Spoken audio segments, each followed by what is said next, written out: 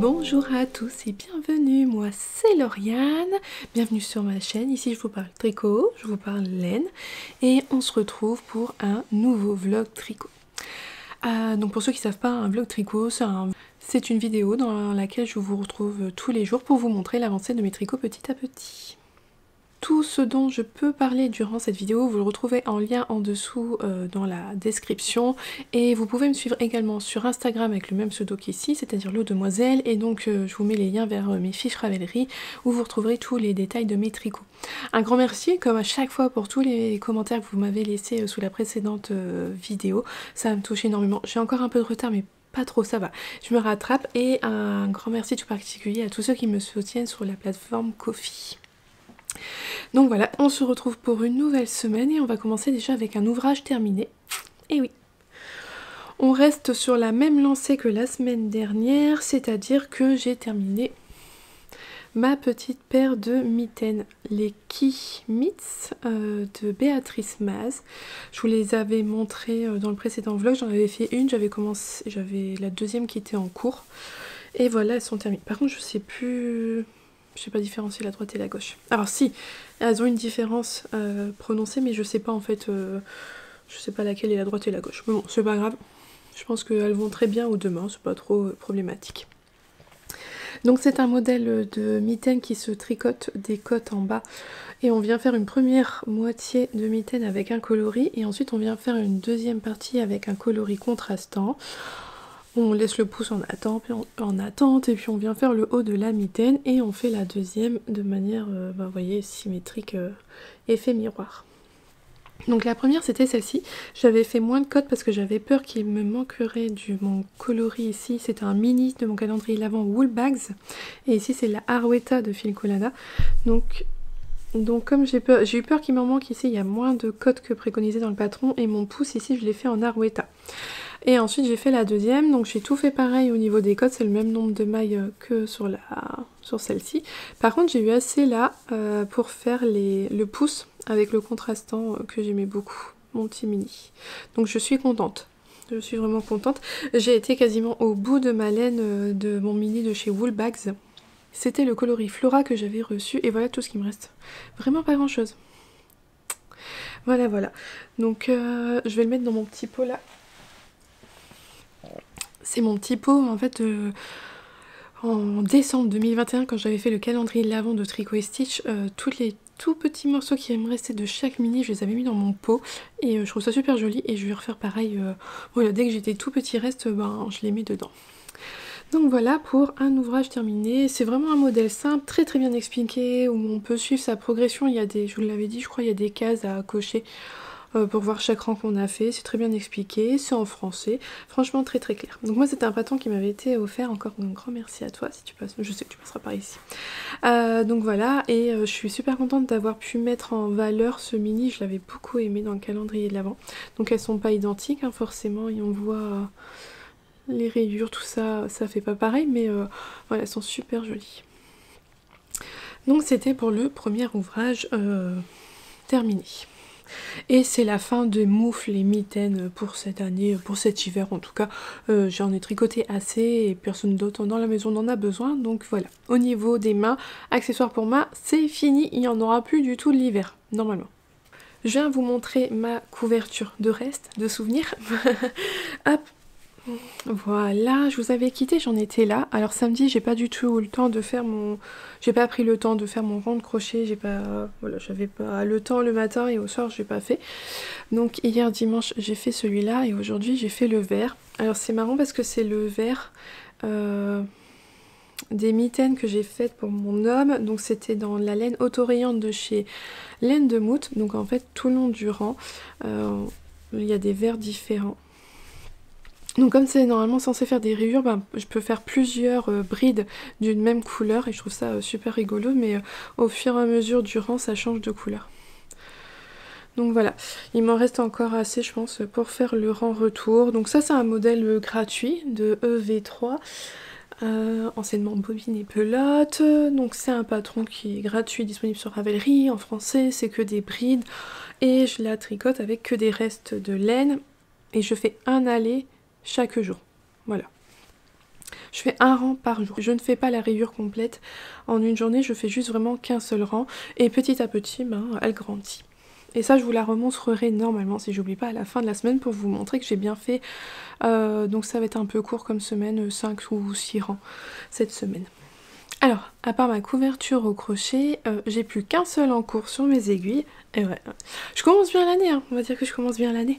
Ah, il s'agit de mon pull Robigna, euh, Robigna que vous avez pu voir la semaine dernière. C'est donc les laines que j'ai reçues en cadeau pour Noël, que j'ai donc monté j'ai commencé euh, au nouvel an, le jour de l'an. J'ai commencé mon pull. Et voilà, je sais plus où j'en étais euh, quand je vous l'ai montré la semaine dernière.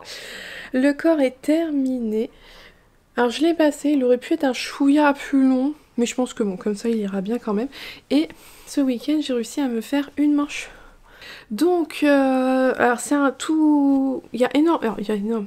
C'est une construction de, un peu différente de ce qu'on a l'habitude de faire. Il y a des rangs raccourcis euh, très très souvent dans ce dans ce pull. Et c'est pareil au niveau de la manche il y a pas mal de rangs raccourcis. Alors pas mal non à chaque fois il y en a que euh, euh, deux ou quatre à faire euh, à certaines sections, donc il n'y en a pas énormément. Euh, mais c'est vrai que c'est pas du tout une construction habituelle. Là, vous n'avez pas de diminution le long de la manche, c'est toujours un jeu de, de rang raccourci. On a des diminutions que là, proche du poignet pour rétrécir à ce niveau-là. Donc voilà. Donc j'ai fait ma première manche. Hop. Et il me reste donc la deuxième à faire bah, pour terminer ce pull que j'ai hâte, que j'ai hâte. Euh, quand je le mets sur moi, l'encolure, elle se met bien finalement. Donc je suis contente. Donc là, il me reste plus qu'une manche à faire et il sera terminé. Mais je sais, alors je sais pas. J'hésite à commencer en même temps un nouvel ouvrage ou alors euh, bah, je termine celui-là et puis euh, pourquoi pas tenter d'être un petit peu mono en cours là en ce début d'année. Comme je suis parvenue sans sans, avoir à me forcer ou autre, euh, je me dis bah, peut-être pourquoi pas euh, essayer de terminer ce pull là avant de commencer vraiment autre chose. À voir. À voir, à voir. On verra demain si euh, j'ai craqué pour monter autre chose ou si j'avance bien sur cette. C'est vrai que je suis plus qu'à une manche quoi. Une seule manche. Ça serait peut-être bien de le finir tout de suite.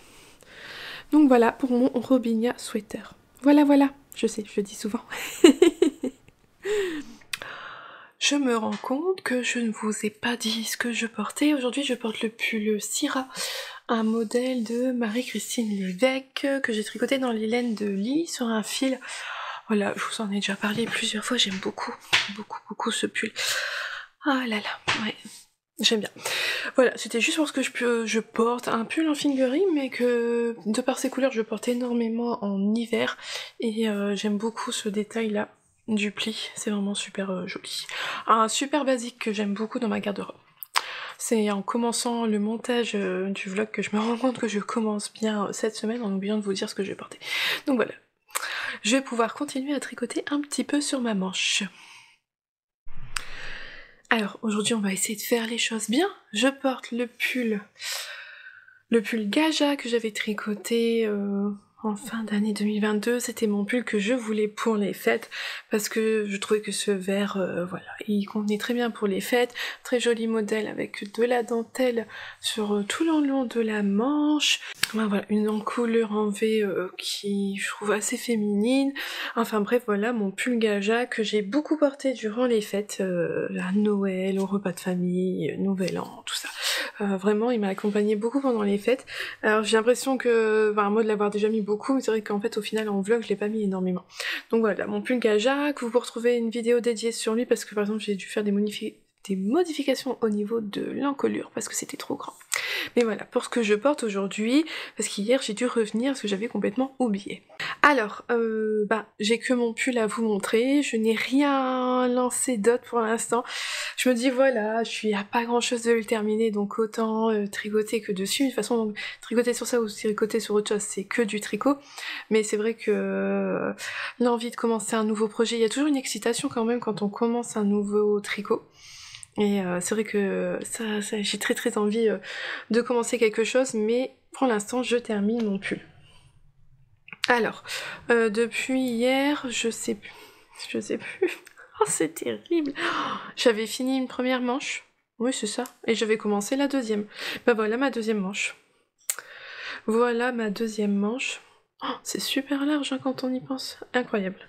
Alors si j'essaie de mettre avec l'autre pour qu'on se rende mieux compte, hop, voir ce qu'il me reste à faire. Il n'y a plus énorme à faire. C'est pas facile. Alors si je vous montre, hop, voilà, je termine cette section-là, je refais encore le motif et puis euh, les, les cotes, diminution et cotes. Ouais non, j'ai plus grand chose. Bon, ça va être terminé aujourd'hui. Hein. Ça va être terminé aujourd'hui et je pourrais en profiter. Et là aujourd'hui, il aurait été parfait. Alors pas qu'il fait froid, mais euh, on a beaucoup de pluie, beaucoup de vent et gros pull cocooning comme ça, ça aurait été sympa. Donc c'est vraiment euh, un pull euh, bah, qui est épais hein, parce que là on a quand même trois fils tenus ensemble. ça c'est une laine assez épaisse. Ouais non, bah, de toute façon il se tricote en 5, donc voilà. Mais ouais j'ai hâte de, j'ai hâte de voir le rendu vraiment bien fini et sur moi, tout ça. Il me tarde de, pouvoir l'enfiler. Donc voilà, je suis plus qu'à... Voilà, j'en suis... En gros, j'en suis là à peu près. Il me reste ça à faire et j'aurai fini ma manche. Et je n'aurai plus de tricot sur mes aiguilles. Plus aucun. Bon, vous inquiétez pas, je manque pas d'idées. Euh, je vais bobiner, une fois que j'aurai fini ça, je vais bobiner un, euh, des écheveaux. En plus, je vais repartir sur un accessoire, donc ils sont, j'ai pas eu à faire des, je ferai pas d'échantillons, tout ça, parce que sinon, quand j'ai un projet comme ça qui arrive sur la fin, euh, je prépare l'échantillon du, projet suivant afin de ne pas avoir de temps mort entre les deux, d'enchaîner les choses rapidement. Mais là, comme ça va être un accessoire, je fais pas d'échantillon. Mais je me dis que peut-être que je vais bobiner. En fait, je sais pas ce que je vais faire après.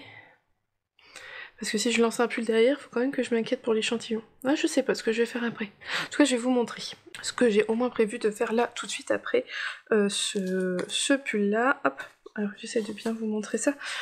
Voilà ce que je vais tricoter ensuite, des laines que vous avez jamais vues euh, dans mon stash. Je les ai euh, commandées, je les avais achetées un peu avant les fêtes et je les ai reçues entre les fêtes. Donc ce sont deux écheveaux de tricot et stitch dans son coloris châtaigne. Alors c'est marrant parce qu'en fonction de la base, il ressort pas pareil du tout. Hein. Là il fait plus, euh, là il fait bien marron et là il fait plus bordeaux je trouve. Euh... Donc là c'est la petite décaille à 266 mètres pour 100 grammes. Et ici on est sur un euh, mohair et soie euh, classique 420 mètres pour 50 grammes. Voilà. Hop. Donc c'était un kit que j'avais, euh, voilà, j'ai acheté les deux ensemble. Je vous montre même pas les trucs à l'endroit. Hop, si je vous montrais à l'endroit ça serait mieux. Voilà, c'est un kit, c'était les deux vendus ensemble. Ah si, là on retrouve bien les nuances de la laine en dessous. Ouais, tout dépend comment le mohair euh, il prend la lumière. Donc voilà, j'ai tricoté ces deux fils ensemble pour faire un bonnet Kobuk de Kathleen Hunter, extrêmement connu. Ah, J'étais voir, il est dans mes favoris depuis novembre 2021. Je vais euh, faire ça là juste après. Chez Tricot j'ai même commandé un petit pompon assorti. Oh, ça va être trop beau. Donc ça va être euh, ce qui va sauter sur mes aiguilles là tout bientôt, ben, juste après mon pull, et c'est vrai que je sais pas ce que je vais faire après. Après j'aimerais faire lancer aussi les chaussettes à Noah, je voudrais lui faire les, Pac-Man de Lucienne Tricotte, et ça j'en ai besoin pour euh, samedi parce qu'il a un match. Donc il faut au moins que j'ai avancé la pointe, le jacquard, et que je sois que sur le jersey du pied pour avoir un tricot zéro cerveau euh, au basket. Et en fait après en gros projet je sais pas trop quoi me lancer. À voir. Je vais, euh, il va que je réfléchisse. J'ai. Ouais, je sais pas. J'hésite. Il va que je vois. Je m'étais pas projetée plus loin que là. Euh, donc voilà. Donc demain, bah certainement le pull fini et je viendrai vous montrer ça. Euh, j'espère commencer. J'ai profité. Alors des soldes, c'est pas vraiment des soldes parce que la période de soldes en France elle a pas encore commencé, mais il y avait des promotions chez Apollonie, je crois que c'était des objets, des produits euh, c'était la dernière chance, je pense qu'après il n'y en aura plus. J'ai passé comment je l'ai reçu très très vite. Ça c'était la petite carte qu'il y avait avec dans mon colis. Très bien emballé et tout, euh, super bien, super rapide d'envoi.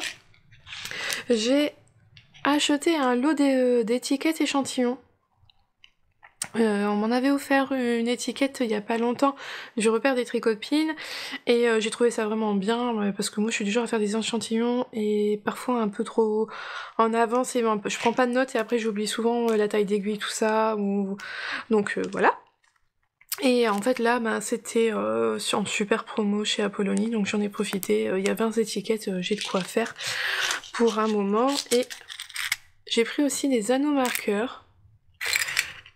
Et ça, je suis super contente. Les... je suis contente de mes étiquettes, hein, mais mes anneaux marqueurs, je suis vraiment super contente parce que c'est quelque chose que... qui me trottait en tête que je voulais depuis un moment. Alors voilà comment c'est présenté sur un anneau. Donc les petits anneaux marqueurs sont sur des anneaux en poule. Et en fait, ce sont des chiffres. Hop, 25. Alors, il y a 2 fois 25, il y a 50. Donc, à chaque fois, ils sont par deux. Il y en a 2 fois 50, ouais. 75. Et enfin, 100. Et derrière, sont super bien faits ces anneaux. Il y a son petit logo le A de Apollonie au dos des anneaux. C'est vraiment très très beau. Et donc euh, je trouve que ça va être super pratique pour euh, compter quand je, quand, je monte euh, les mailles. Quand je monte mes mailles, que c'est pour un pull en bottom-up ou surtout un pull en bottom-up, je passe mon temps à recompter, compter, compter parce que je perds toujours le fil et tout, je suis jamais sûre. Et puis parfois on peut compter deux fois de suite et on n'a pas le même nombre de mailles. Donc là au moins tous les 25, bah, je vais pouvoir mettre euh, un petit anneau repère, ça sera super bien. Et euh, franchement je suis contente de ça. Donc en plus je l'ai eu en promotion donc euh, c'était pas mal. Je sais pas du tout si en reste dans sa boutique, j'ai vu qu'elle avait été pas mal dévalisée pour cette période de solde. Mais voilà, ce que j'ai pris... Il y avait aussi, elle avait des anneaux marqueurs, mais ça j'ai moins de soucis maintenant que j'ai l'habitude de tricoter, mais qui marquaient si c'est une augmentation de mailles ensemble ou un, euh, elle a des marqueurs pour marquer le devant, l'arrière, les manches, tout ça, elle avait pas mal de choses comme ça.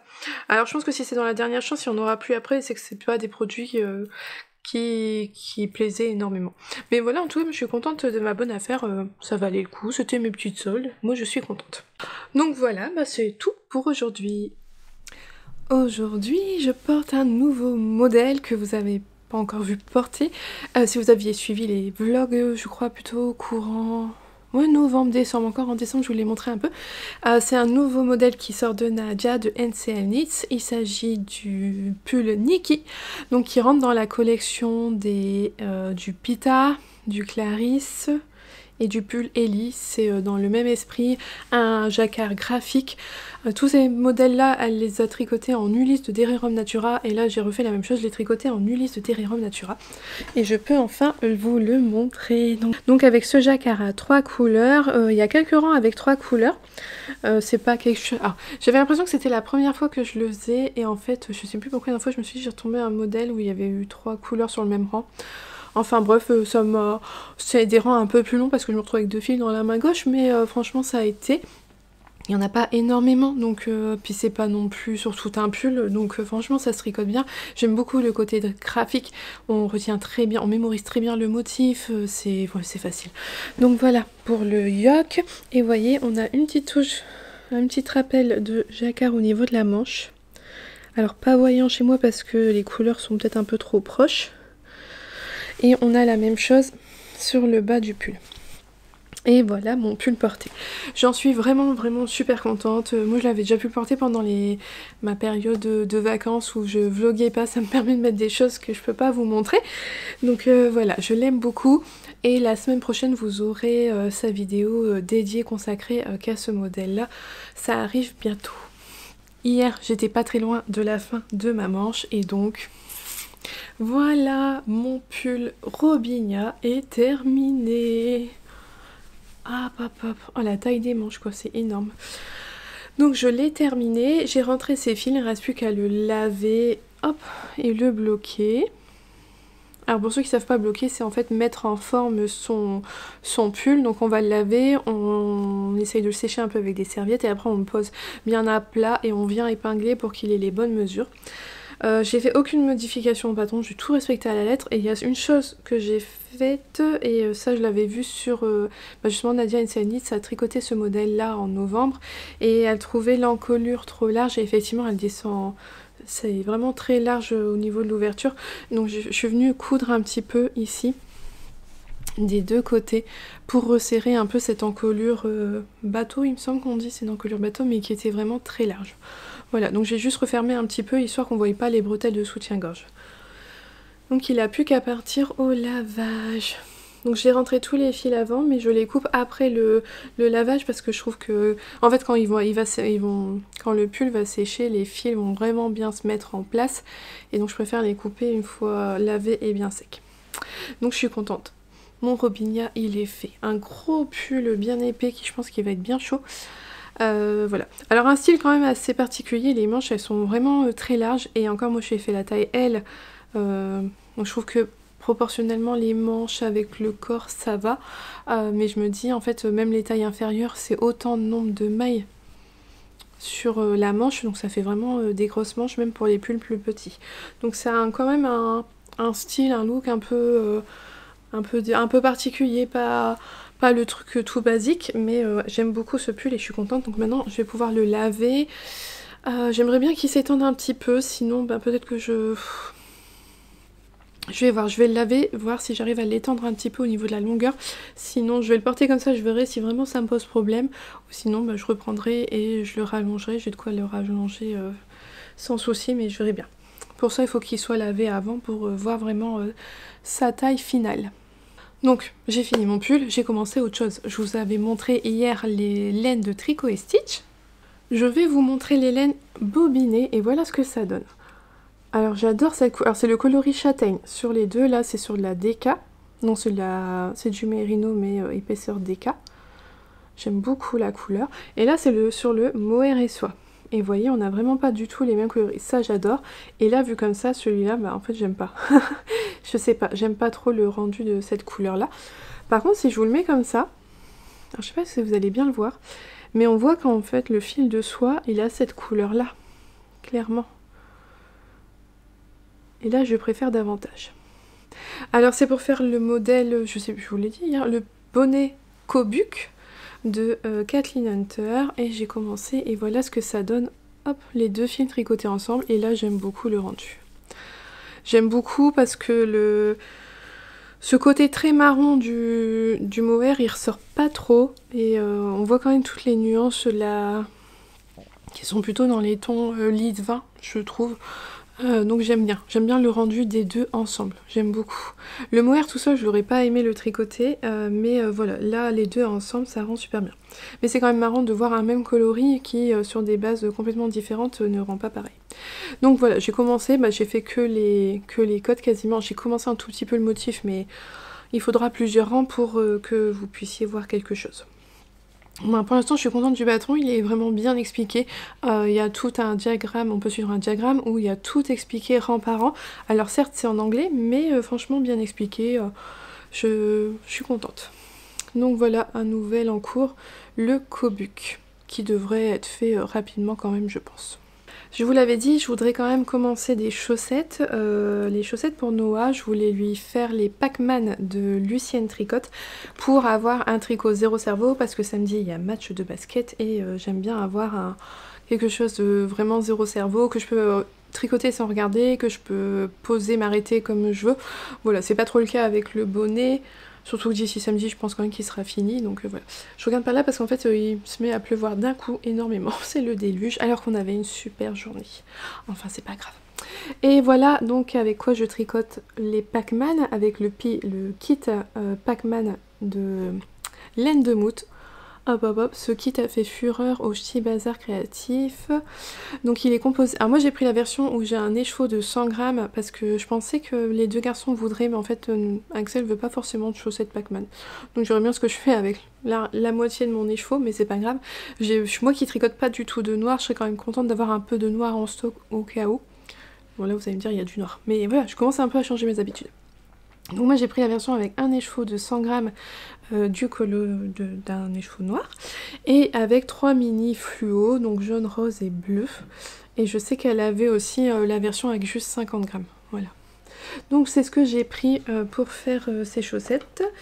Alors là le patron il est bien expliqué, il est disponible en français mais je trouve juste que la mise en page il y a beaucoup de pages pour pas grand chose. Euh, c'est juste, euh, ça a été ma première impression quand j'ai vu défiler les pages. Euh, il y a une page que pour juste des abréviations, il y a une page avec plein, qui renvoie vers plein de liens vers les techniques.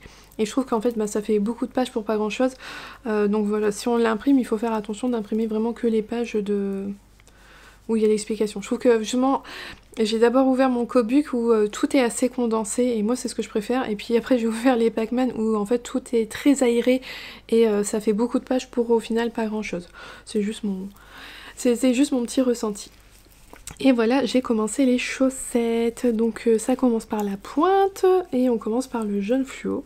Donc voilà, j'ai fait ma pointe, j'ai fait, j'ai commencé à tricoter le noir. Il y a quelques rangs à faire avant de faire un premier jacquard vraiment tout simple. Et c'est ce que j'aimerais faire là euh, passer le jacquard et une fois le jacquard qui sera fini, tout le reste du corps jusqu'au talon se fait en, jersey en droit euh, tout noir. Donc ça sera parfait euh, pour le match de basket. Et j'aime beaucoup, j'aime beaucoup le, le fluo, c'est trop rigolo. J'aime beaucoup le rendu, je trouve ça chouette. Donc voilà, à nouveau des petites chaussettes pour tricoter un petit peu partout. Alors aujourd'hui chez nous le temps il est mais catastrophique, énormément de vent, de pluie, on a des risques d'inondation, tout ça, donc franchement pas une journée où on aurait envie de rester sous la couette dans le lit clairement, mais on peut pas. Alors, euh, des journées comme ça, moi je sors mon pull chaton d'Atelier Emily parce que, vous le savez, j'ai fait une version... J'adore ma version, je la trouve euh, très doudou, euh, très réconfortante, c'est doux, c'est chaud, j'aime énormément. Je le porte vraiment beaucoup, hein, vous le voyez quasiment pratiquement toutes les semaines. je, je trouve qu'il vieillit super bien. alors là comme ça on a l'impression qu'il y a des bouloches, mais en fait si je regarde, si on regarde comme ça dans, Hop, je crois que non. En fait, il n'y a pas tant de bouloches. Euh, là, ouais, on voit un peu que je, le porte au niveau des bras parce que c'est là où il y a le plus de frottement. Mais pas de quoi le raser encore. Je trouve que la laine a vieilli super bien. C'était du Touch Me Mohair de We Are Knitters. Et je trouve que franchement, euh, il vieillit super, super bien pour, un, pour un pull, voilà, dans, avec euh, beaucoup de mohair. Franchement, il vieillit bien. Oui, on voit un peu le frottement ici, mais franchement... J'en suis extrêmement contente. Alors je viens vous montrer l'avancée de mon bonnet euh, Kobuc. Voilà, ah, j'ai bien avancé depuis hier. Alors par exemple, je vous ai parlé que j'avais acheté les anneaux des anneaux euh, marqueurs chez Apollonie, je vous l'ai montré en début de vlog, bah, ça m'a servi par exemple pour monter mes mailles de mon bonnet puisque euh, moi j'ai plus de 100 mailles dessus et donc voilà, tous les 25 j'ai mis un petit truc, euh, j'ai pu les tester tout de suite, j'étais contente et c'est vrai que c'est vachement pratique. Alors je vous avais quitté, j'étais au tout début des cotes, des cotes torse qu'on fait à ce niveau-là et je n'avais fait que deux rangs donc on voyait rien, donc là vous voyez très bien, on a deux triangles, un triangle avec du point de riz et un triangle où les côtes torse se poursuivent. Et après on commence à faire des noppes. Alors c'est vrai que quand on le regarde comme ça, on a l'impression qu'il y a beaucoup de noppes. Et euh, c'est vrai que j'avais un peu peur en me disant, ouais, il y a beaucoup de noppes, euh, que ça soit pénible à faire. Et au final, euh, non. je suis la technique de prise indiquée dans le patron par Kathleen Hunter. Ce sont des petites noppes vraiment très simples à faire où il n'y a pas besoin de retourner tout le temps son tricot. Euh, franchement, en deux manips, c'est fait. Il n'y a pas de souci, ça se fait vraiment très simplement. Et au final, euh, même si on a l'impression qu'il y en a beaucoup comme ça, bah, il n'y en a pas tant que ça, je trouve. Non. Euh, il y a quand même pas mal de rangs entre les, rangs de nopp où c'est que du jersey en droit, ça avance bien. Donc franchement, pas de souci. J'ai fait la plus grande taille, quand je regarde comme ça, j'ai un peu peur. Mais je peux pas l'essayer parce que je me suis coiffée, j'ai attaché mes cheveux, j'ai pas envie de le passer. Mais moi je pense qu'avec ma touffe de cheveux quand même, euh, je serais pas... Je crois que je... Trop plus petit ça aurait pas été. Mais c'est vrai que quand je regarde comme ça, franchement, ça fait peur. Ça devrait être la bonne taille. La taille en dessous a été vraiment beaucoup plus petite en termes de circonférence. Donc euh, voilà. Euh, là j'ai commencé à faire les diminutions pour la couronne. Ah là, vous voyez, il y en a là. Et on continue encore les noppes. Donc euh, la fin approche très rapidement et ça devrait aller assez vite euh, après. Puis alors même si euh, c'est vrai que oui il me paraît quand même grand, mais bon s'il est un peu slouchy, ça veut dire qu'il est un peu tombant, moi ça me dérange pas, c'est un style que j'aime bien, donc c'est pas grave. Donc voilà pour le bonnet Kobuc. Alors vraiment sympa à tricoter, euh, un très joli rendu. Alors il demande de la concentration beaucoup là parce qu'il y a toujours des choses à faire, mais euh, après ça reste qu'un accessoire, c'est qu'un bonnet, donc ça se tricote. Euh, voilà, les rangs ils sont assez courts, il n'y a pas tant de mailles que ça.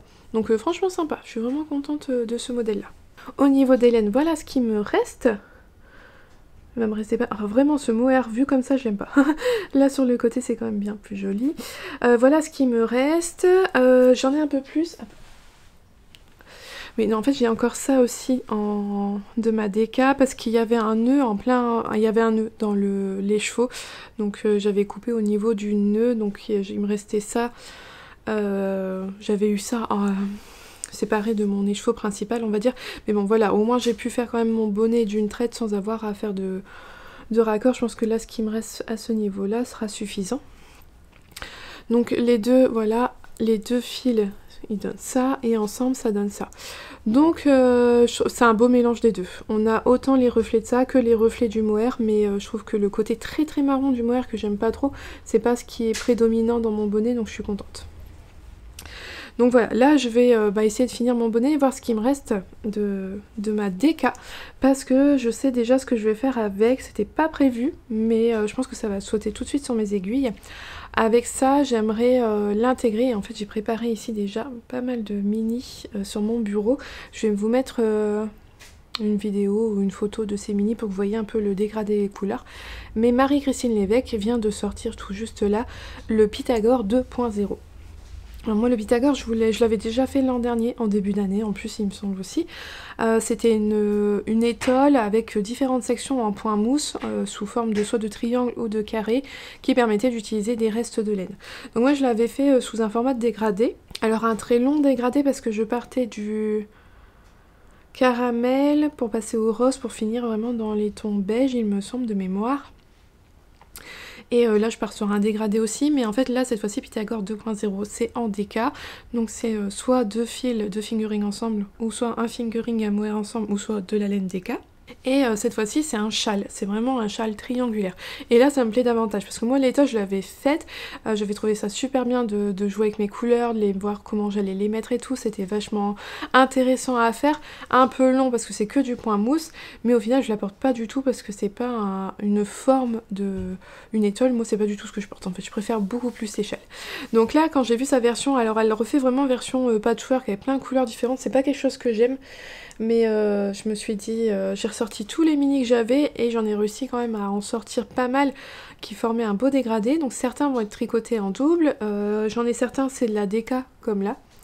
Voilà, donc ça j'aurais pas besoin de le tricoter en double. Et il y en a certains que je vais tricoter avec du mohair. Donc on va avoir un petit peu de tout dans le châle. Mais au niveau des couleurs j'en suis contente, j'en suis satisfaite. Et vu que ça va être un châle, je pense que je vais pouvoir le porter plus facilement et ça va me liquider pas mal de mini donc ça c'est vraiment vraiment bien.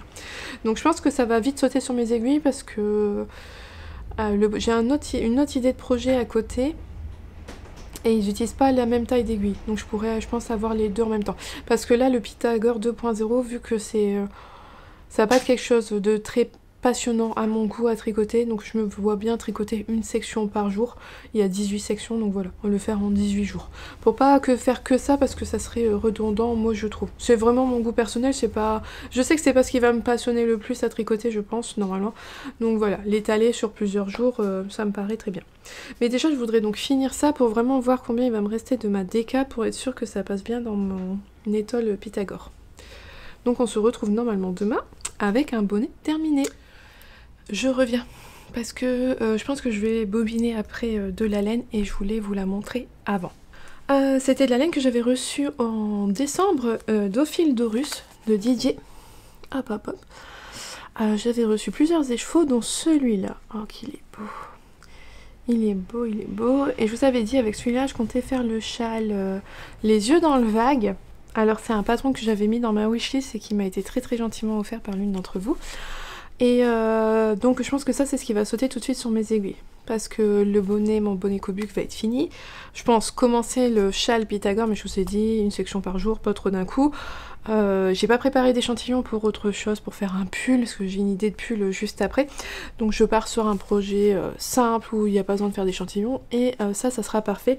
Donc je voulais vous remontrer les chevaux une fois avant, en écheveau, avant de le bobiner. Oh c'est beau ces nuances. Et donc je vais le coupler avec du mohair. Euh, du mohair de chez Lang, le Luxe Lamé. Ah, il y a des paillettes à l'heure dedans. Oh, trop beau.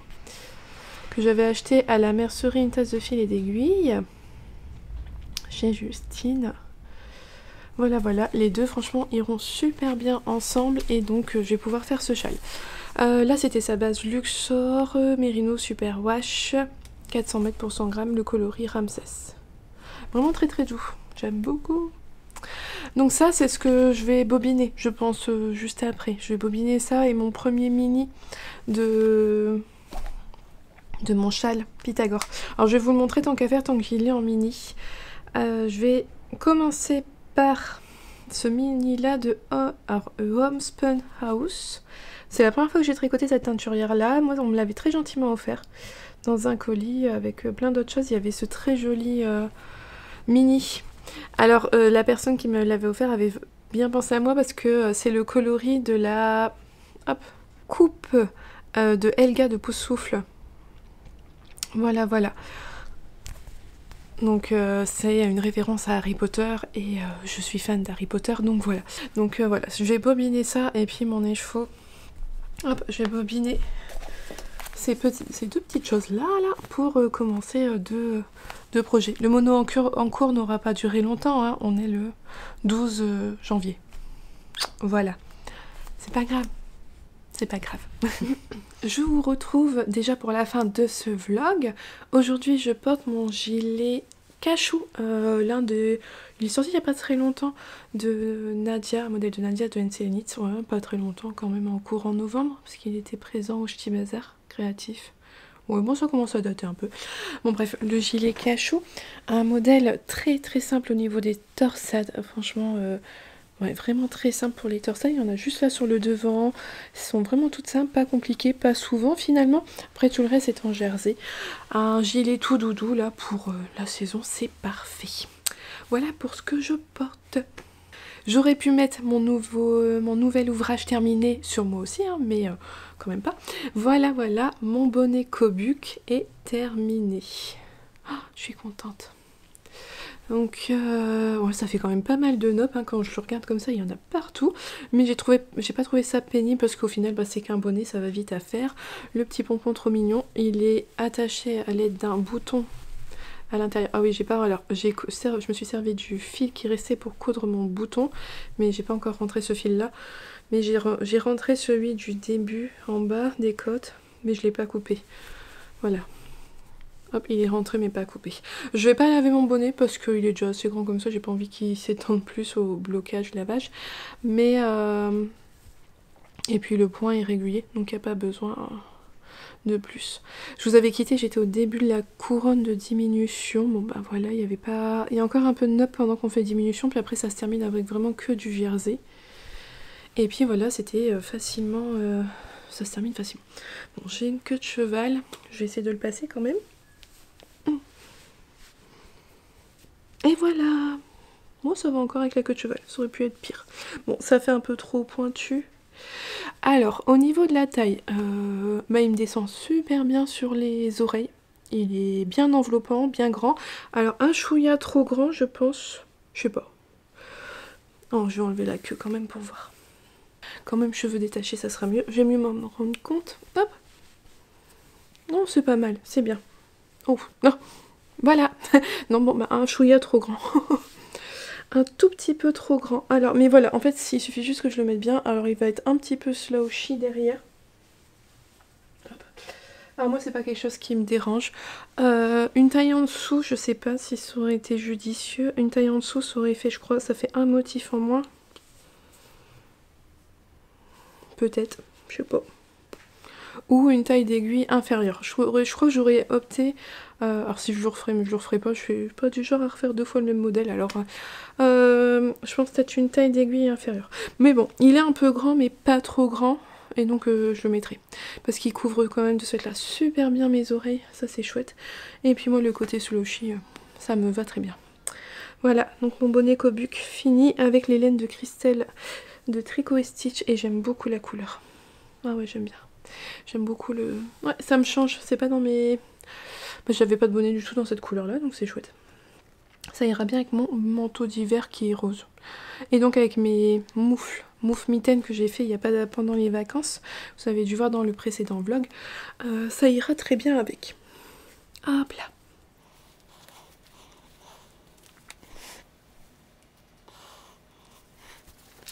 Qui dit ouvrage terminé dit nouveau tricot sur mes aiguilles.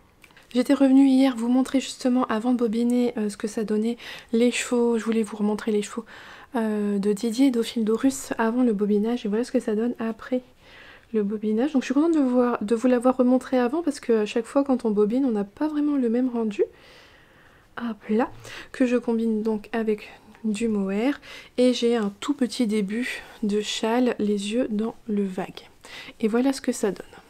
Alors c'était euh, ce que je me disais, ça, ça camoufle un peu les nuances mais on les voit quand même et j'aime bien le rendu. Ça va être un rendu tout doux, j'aime beaucoup. Les deux ensemble vont super bien au niveau de la couleur et on va avoir un peu un, des speckles un peu légers. Et ça va permettre de s'accorder avec pas mal de choses, j'aime bien. Très joli, j'aime beaucoup. La laine à Didier, elle est super douce, super agréable. Alors les deux ensemble, oh, ça va être un nuage de douceur. Alors c'est un modèle vraiment très simple, c'est beaucoup de, euh, points de points mousse. Il y a des augmentations, euh, on, augmente à chaque fois chaque rang euh, assez rapidement en fait. Il y a beaucoup d'augmentations. Et il y a de temps en temps, alors vous êtes sûr Hop, c'est dans ce sens-là. Et il y a une fois de temps en temps un rang de dentelle. Vous voyez avec les trous là, les jetés. Et euh, il y a juste un rang de dentelle qu'on va répéter plusieurs fois dans le châle et à la fin on fait des côtes brisées sur la fin du châle à la bordure. Mais voilà, donc c'est un, châle qui se tricote avec juste un écheveau de fingering et un écheveau de mohair. Donc là deux pelotes de mohair pour ma part. Euh, donc ça devrait aller assez vite, ça se tricote en aiguille 5, donc voilà. Et c'est en français et c'est franchement bien expliqué, c'est oui, du rang par la dentelle elle est expliquée à l'écrit et c'est vraiment pas compliqué. C'est que des, des jetés et des mailles ensemble. Donc voilà, je suis partie pour utiliser ça. Ça me prend un petit châle, alors qu'il a l'air quand même assez grand pour un châle à un chevaux parce qu'il y a quand même du mohair. Euh, bah, ce tout doudou là pour euh, l'hiver, ça sera parfait. Ah ouais, ça va être une chouette couleur, j'aime bien. Donc voilà ce que j'ai commencé. Et je vous avais dit également hier, j'ai commencé le châle Pythagore. Et voilà ce que j'ai fait. Non, ce n'est pas une memory blanquette.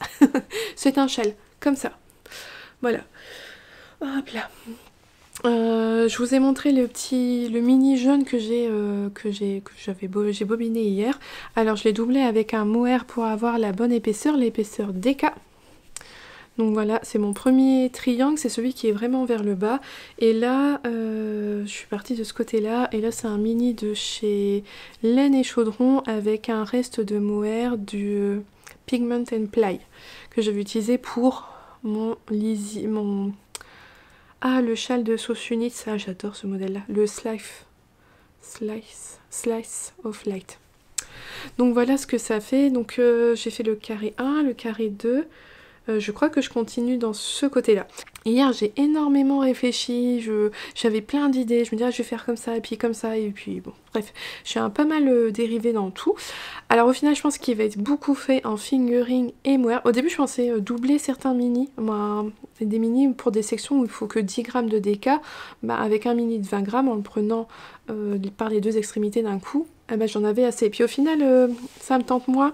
Et j'ai ressorti pas mal de mohair que j'avais. Donc euh, je pense que je vais pouvoir doubler beaucoup de sections avec du mohair. Euh, et ça, je pense que ça fera un super châle tout bah, comme l'autre en fait, fingering et mohair, épaisseur donc des cas, bien doudou, bien chaud. Et ça va être pas mal. Alors au final, je pars dans une idée de là, de jaune. Là, on est sur corail, saumon, hein, voilà Voilà un peu pour les nuances. Enfin bref, toujours est que je voudrais surtout là sur le, bas du triangle jusqu'aux pointes partir du, donc, du jaune pour aller vers plutôt des tons caramel. Parce que comme ça quand je vais le porter, je vais avoir ma pointe qui est jaune, jaune pêche euh, saumon à ce niveau là et les pointes qui vont retomber sur les côtés caramel. Et au centre ça sera vraiment les parties, euh, vraiment le, plus, le centre le plus haut du châle, c'est ce qui est là près du cou, c'est ce qu'on verra moins, mais ça sera mes mini les plus foncés à ce niveau là. Et bien en fait j'ai entre l'idée que j'ai eue au départ quand j'ai assemblé tous mes mini et que je vous ai filmé ça hier et puis entre le temps que j'ai commencé à tricoter euh, mes idées elles fusaient dans tous les sens je me disais non je vais faire comme ça oh puis comme ça ou et au final fou c'est c'est une sacrée gymnastique c'est faut ça fait travailler beaucoup les ménages parce qu'il faut voir comment on, on, agence les couleurs et tout il y a pas mal de choses à voir dessus euh. c'est intéressant c'est intéressant, ça nous fait jouer avec nos couleurs, nos restes, nos mini, tout ça. Finalement, j'ai ressorti des restes que j'avais parce que je me suis dit, ah bah ça, je pourrais le mettre là, et puis ça, je pourrais le mettre là. Enfin, voilà. Alors, au final, par contre, j'ai pas utilisé énormément de laine. Euh, là, j'ai utilisé que la moitié d'un mini écheveau. Là, c'est pareil. Là, j'ai utilisé moins de 5 grammes de mohair. Si je vais pas me peser mon mohair, je pourrais pas dire. Là, le mohair que j'ai utilisé, c'est celui que j'ai utilisé pour le dernier pull que j'ai fini, le Robinia. Euh, voilà. Donc euh, finalement, ouais, ça consomme pas énormément de laine. Je vais avoir pas mal de restes de tous mes mini. Alors j'ai peut-être essayé justement de les remettre à d'autres endroits sur le châle pour essayer quand même d'utiliser au maximum mes, mes mini et pas euh, tout entamer et, et qu'il m'en reste plein à la fin. Voilà, voilà. Donc c'est les deux nouveaux... Ah oui, la chaussette à noix. Non, je vais vous montrer la chaussette à noix. Donc ce sont bien les deux nouveaux euh, projets sur mes aiguilles, mais euh, j'ai aussi la petite chaussette à noix. J'ai pas beaucoup avancé, je me suis juste contentée de faire la première partie de jacquard. Voyez Hop là le jacquard au niveau euh, de la pointe, c'était juste ça. Maintenant je vais pouvoir tricoter toute la chaussette en noir jersey, tout simplement sans, sans, avoir à réfléchir tout ça, sans patron. C'est juste du jersey en droit pour le reste du pied, donc maintenant ça devient un tricot zéro cerveau. Je vais vous montrer ma couverture au crochet, hein, pour vous montrer qu'elle a bien avancé. Ah, je suis en train de défaire. Bon, bah, j'ai perdu une maille, c'est pas grave. Alors voilà, je vous avais quitté, euh, je l'avais montré en début de semaine, bah, j'étais là. Euh, donc j'avais fait un rang de blanc. Je vous avais montré le, un rang avec la laine autorayante de laine de moute. J'avais utilisé pour les mitaines de mon homme. Bah, il est passé sur deux rangs. Voilà. Alors au, fur et à mesure du rang, c'est pas la même chose. Là, il y a deux rangs de blanc. Et là, euh, c'est un rose et je sais ce que c'est, c'est du laine de mout, c'est euh, sa fingering que j'avais utilisé pour faire mon châle poule rousse de Maison Pleine Fleur, d'Estelle Lemoine. Donc voilà, j'ai fait mes rangs pour aujourd'hui et euh, bah, je continue. C'est vraiment mon plaisir. Chaque, chaque matin, je commence... Ah, maintenant ça devient très organisé. Chaque matin, je commence par ça. Puis après, je fais une section du châle Pythagore et ensuite je tricote mon châle. Donc par exemple aujourd'hui j'ai pas encore tricoté mon châle vague, j'ai pas eu le temps. Euh, parce qu'au final mon carré, je vous l'ai, je vous l'ai pas dit mais je l'ai tricoté puis à un moment je me dis ah c'est vrai que il est vachement épais le, le tissu, le carré faisait très épais, je me suis dit c'est bizarre, euh, ma fingering elle est pas forcément hyper épaisse. Et en fait au bout d'un moment j'en étais déjà à la moitié, je me suis rendu compte que je tricotais avec deux films de mohair ensemble. Bon, j'avais pris, j'avais embarqué les deux extrémités de mohair en fait. Et donc euh, bah, j'ai dû tout défaire et recommencer. Bon, bah, c'est pas grave, hein. Ce qui a été plus dur, c'était de démêler quand même le mohair parce que bah, comme il, tout, il avait été tricoté les deux fils ensemble pour tout démêler et tout refaire bien la pelote histoire de bien reprendre. Mais bon, voilà. C'est des choses qui arrivent. Donc voilà pour euh, au niveau de mes ouvrages pour cette semaine. Et avant de vous quitter, je vais vous parler d'un petit colis que j'ai reçu aujourd'hui de la part de Lubiloun. J'aime beaucoup sa carte, j'aime beaucoup son, son, logo là, très très joli. Hop, que vous pouvez retrouver un peu partout et notamment sur Instagram. Hop là. Dans le petit colis, il y avait un petit sachet de thé. Et donc c'est une nouvelle créatrice qui se lance dans les euh, accessoires euh, tricot. Donc hop, regardez, un petit contrant. Et j'adore la petite... Euh, la petite suspension marquée un rang après l'autre. Trop rigolo. Donc c'est du bois, hein, c'est gravé sur le bois. Donc celui-là il est amovible pour le bouger, pour noter les dizaines à chaque fois. Et celui-là marque reste fixe rang et on voit que le cinquième rond est différent des autres pour mieux se repérer. Mais ouais, j'aime beaucoup l'inscription un rang après l'autre. Et voilà également un petit lot de marqueurs avec différentes, euh, avec différentes attaches des anneaux, des mousquetons. Et là aussi, ils sont en bois et c'est gravé. Donc là, avec petit sapin, une moufle, une chandelle. Et là, au milieu, hop, oh, un petit café. Regardez, une petite tasse avec un petit nuage en forme de cœur. C'est super beau. Donc c'est en bois, c'est hyper léger, c'est vraiment très... C'est super léger, donc ça c'est vraiment bien. Euh, par exemple, quand on accroche un mousqueton sur un tricot pour se savoir où on en était pour voir la progression par exemple. Moi j'aime beaucoup faire ça quand je fais un corps tout en jersey. Et ben quand je m'arrête, hop, je mets mon je mets mon petit anneau avec un mousqueton. Comme ça la prochaine fois que je retricote dessus, hop, je vois les centimètres que j'ai fait. C'est hyper motivant parce qu'il y a des fois on se rend pas compte avancer. Et puis au final en mettant un petit repère, bah si, ah bah oui, j'ai quand même fait 10-15 rangs, euh, c'est quand même pas rien. Et ben là c'est tout léger donc ça déforme pas les, les mailles. Ça c'est bien parce qu'il y a des fois ça déforme les mailles. Donc voilà, chez Lubiloon, c'est trop joli. Et puis au moins c'est différent de ce qu'on peut voir ailleurs, j'aime beaucoup. Donc euh, une nouvelle créatrice euh, à suivre euh, sur les réseaux sociaux si jamais le cœur vous en dit. Donc voilà, pas pour cette semaine on a fait le tour, j'espère que cet épisode vous aura plu, je vous remercie encore énormément ben, d'être là à chaque fois, à chaque vidéo. Merci beaucoup, ça me touche énormément et ça me motive complètement à continuer. Donc Merci à vous. En attendant, je vous souhaite une belle journée ou une belle soirée en fonction de quand est-ce que vous regardez cette vidéo et surtout un bon tricot et je vous dis à bientôt. Bye